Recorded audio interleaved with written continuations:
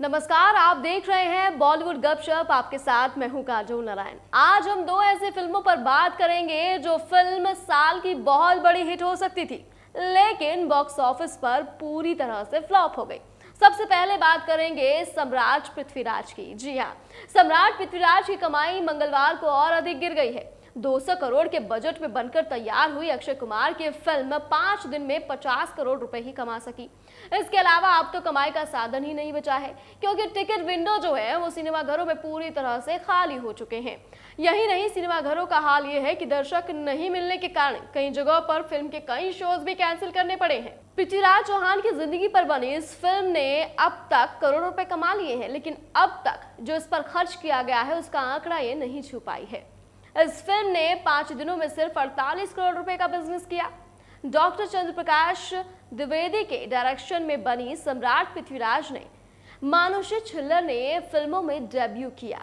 अक्षय कुमार और संजय दत्त के अलावा सोनू सूद जैसे सितारे भी फ़िल्म में हैं, लेकिन थिएटर्स में ऑडियंस की ऑक्यूपेंसी है, सिर्फ़ सात आठ परसेंट। यानी कि सौ सीटों में से सिर्फ़ नौ सीटों पर ही दर्शक देखने को मिल रहे हैं। इस फ़िल्म ने ओपनिंग डे पर 10 करोड़ रुपए का बिज़नेस किया था। और रविवार को पहले वीकेंड पर कमाई 16 करोड़ रुपए थी।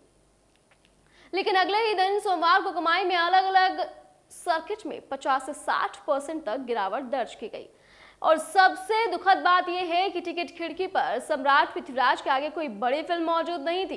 कमल हसन की विक्रम रिलीज़ तो हुई, लेकिन इसका ज़ोर साउथ में ज़्यादा है। मेजर भी ऐसा बिज़नेस नहीं कर रही कि ये सम्राट पृथ्वीराज को नुकसान पहुँचा सके।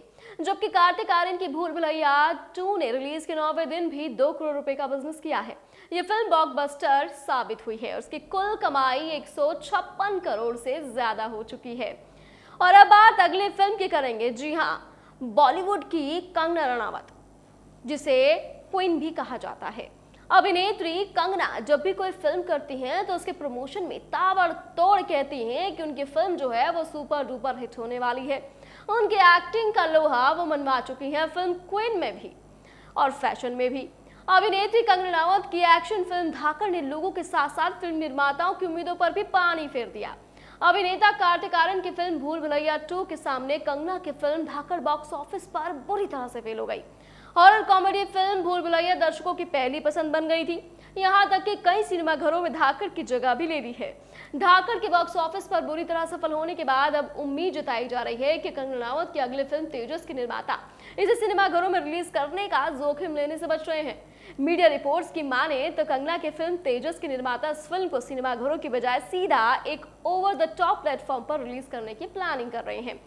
कंगना इन दिनों अपनी अगले फ़िल्म तेजस की तैयारी में जुटी है। बॉलीवुड हंगामा की एक रिपोर्ट के अनुसार इस फ़िल्म के निर्माता कुछ हिस्से को फिर से शूट कर रहे हैं और साथ ही धाकर की बुरी तरह फेल होने के बाद फ़िल्म को सीधे ओटीटी पर रिलीज़ करने की योजना बना रहे हैं।